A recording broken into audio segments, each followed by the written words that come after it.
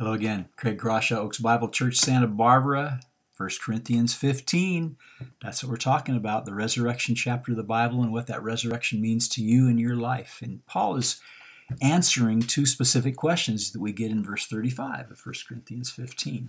So, what are the two questions? Someone will say, How are the dead raised? How's it going to happen? Paul's going to answer that beginning in verse 50, and that's a few posts from now.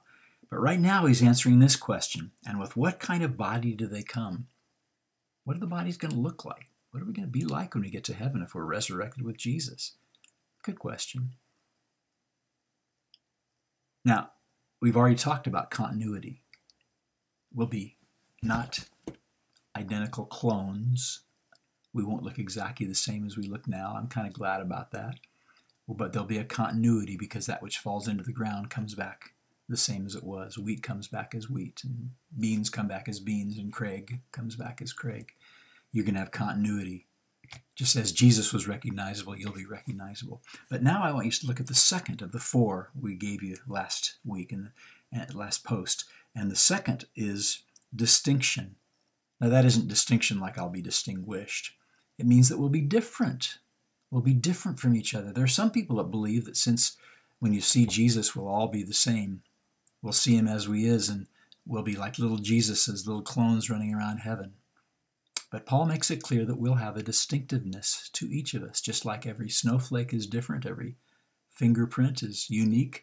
So we're going to be unique, not only on earth as we are, but we're going to be unique in heaven as well. And for that, he uses three different analogies one from horticulture, one from zoology, and one from astronomy. Okay, we've already seen the one in horticulture. He, he said back in in uh, verse 37, that which you sow, you do not sow the body which is to be, but a bare grain, perhaps of wheat or something else. Just as whatever you put into the ground as a seed will come back. A rhododendron seed will come back as a rhododendron flower, and a rose seed will come back, and so on. But secondly, he's going to now use zoology. Look at verse 39. All flesh is not the same flesh. But there's one flesh of men, and one flesh of beasts, another of birds, another of fish. In other words, in the resurrection, just as the flesh is different here on this earth, it'll be the different in heaven also. You and I won't look identical. I'll look like Craig, and you'll look like you, or at least a better version of me and a better version of you.